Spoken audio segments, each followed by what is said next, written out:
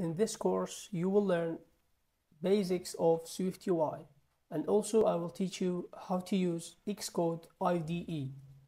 I will show you everything from scratch. So before starting to develop our SwiftUI application, we should install an Xcode application. Let's go to App Store and here type Xcode like this and click download or install to your macOS. And after you installed your Xcode, just simply open your app. This is welcome screen of Xcode. So in the right section, you can see the history of your projects. And before you, because you installed from scratch, you don't have any projects, you will see empty this section.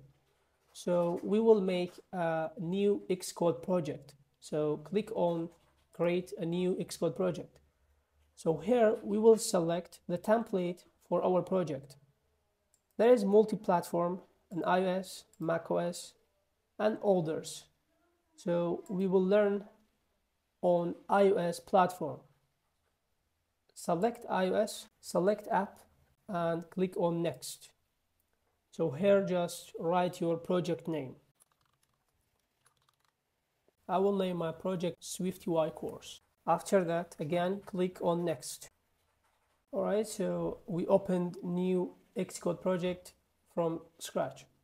So we can make our screen full. Uh, it will be better to develop application. When you open new SwiftUI project, you will see hello world text. This is all made from SwiftUI custom design.